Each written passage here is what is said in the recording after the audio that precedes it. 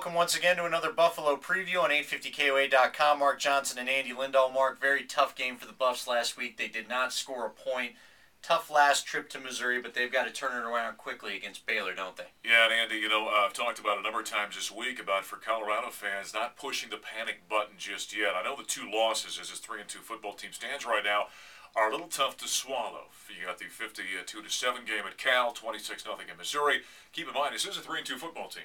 And with Baylor coming in here on Saturday, a winnable ball game for Colorado, followed by Texas Tech. Colorado plays much better at home. You could be talking about a 5 and 2 team. So not a lot of fun on the road, but now, as they always talk about, you got to hold serve at home, and the Buffs have to do that this weekend against Baylor. Well, let's be honest about it. They've got a very good quarterback. Baylor presents challenges. They've had some good games in the early going you're kind of neat. You're kind of slick here right now. I'm a little dirty and grimy. The Buffs need to get a little dirty and grimy with this game plan this week, don't they? Yeah, and this is generally the way it is, dirty and grimy. But yeah, Colorado's going to come out and I think get tough, and that's the thing that we've continued to talk about. This team remaining a physical football team, big offensive line, come out and run the ball against Baylor.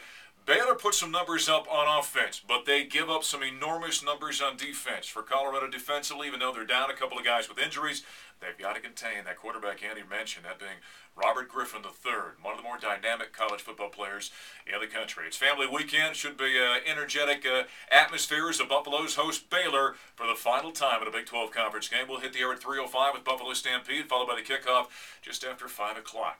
Get ready for the Buffs and the Bears this weekend. For Andy Lindahl, I'm Mark Johnson. Thanks for joining us on our Buffs preview here on 850KOA.com.